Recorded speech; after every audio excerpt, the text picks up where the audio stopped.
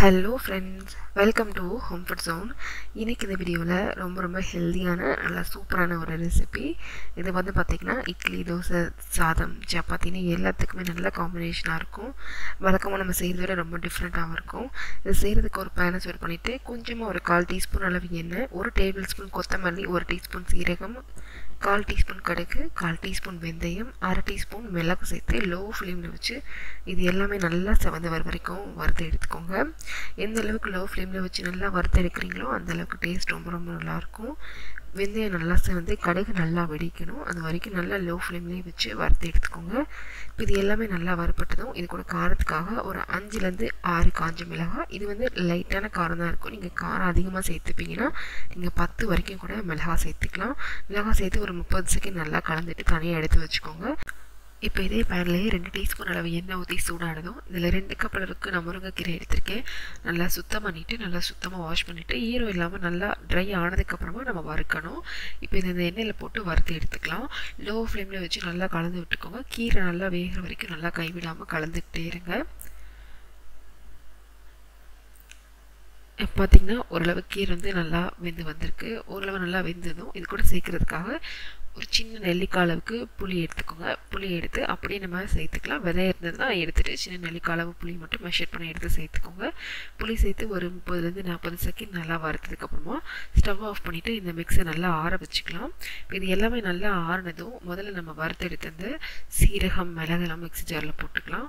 இதோட ஒரு கால் கப் அளவுக்கு வறுத்த வேர்க்கடலை அஞ்சாறு பல் பூண்டு சேர்த்துக்கோங்க. இப்போ இது வந்து நல்லா அரைச்சிக்கலாம். தண்ணி சேர்க்காம கொஞ்சம் குறகுறப்பாக அரைச்சிட்டு இதில் நம்ம ஏற்கனவே வறுத்து எடுத்து அந்த முருங்கைக்கீரை அந்த புளியையும் சேர்த்துக்கோங்க. இப்போ இதில் தேவைப்பட்டால் வந்து தண்ணி கொஞ்சமாக சேர்த்து நல்லா பேஸ்ட் மாதிரி அரைச்சிக்கோங்க. பார்த்தீங்கன்னா தெரியும் இந்த அளவுக்கு வந்து நல்லா வந்து பேஸ்ட்டாக அரைச்சிருக்கணும். இப்போ இதை தாளிக்கிறதுக்காக இன்னொரு பேனை சூட் பண்ணிக்கோங்க. இது ரெண்டு டேபிள் ஸ்பூன் அளவு நல்லெண்ணெய் விட்டுக்கோங்க. எண்ணெய் நல்லா சுடானதும் ஒரு கால் டீஸ்பூன் அளவு கடுகு சேர்த்துக்கோங்க. கடுகு நல்லா புரிஞ்சதும் ஒரு ரெண்டுலேருந்து மூணு காஞ்சி மிளகாய் கூடவே நம்ம ஏற்கனவே அரைச்சி எடுத்து வச்சுருக்கிற இந்த முருங்கைக்கீரை பேஸ்ட்டும் சேர்த்துக்கலாம்.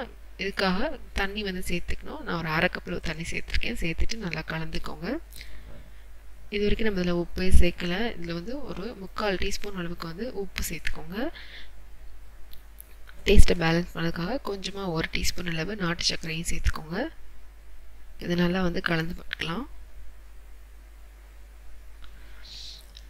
நல்லா கலந்ததுக்கப்புறமா லோ ஃப்ளேமில் வச்சு இதை அப்படியே நம்ம மூடி வச்சிடலாம். ஒரு ரெண்டுலேருந்து மூணு நிமிஷத்துக்கு அப்படியே இருக்கட்டும். இதில் இருக்கிற எண்ணெயெல்லாம் நல்லா பிரிஞ்சு வர வரைக்கும் நம்ம குக் பண்ணி எடுத்துக்கணும். பார்த்திங்கன்னா ஓரளவு நல்லா எண்ணெயெல்லாம் பிரிஞ்சு வந்திருக்கு. திரும்ப ஒரு தடவை நல்லா கலந்து விட்டுட்டு திரும்ப மூடி வச்சிடலாம். ஒரு ஒரு நிமிஷத்துலேருந்து ஒரு நிமிஷம் கழித்து நம்ம பார்க்கலாம்.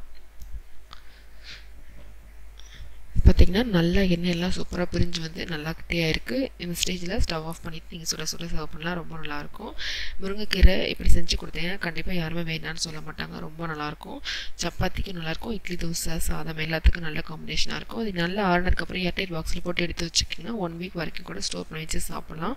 கண்டிப்பாக இதே மாதிரியே நீங்களும் செஞ்சு பாருங்கள் இந்த ரெசிபி உங்களுக்கு பிடிச்சிருந்ததுன்னா லைக் பண்ணுங்கள் ஷேர் பண்ணுங்கள் கமெண்ட் பண்ணுங்கள் கண்டிப்பாக ஹோம் ஃபுட் ஜோனுக்கு சப்ஸ்கிரைப் பண்ண மறக்காதீங்க.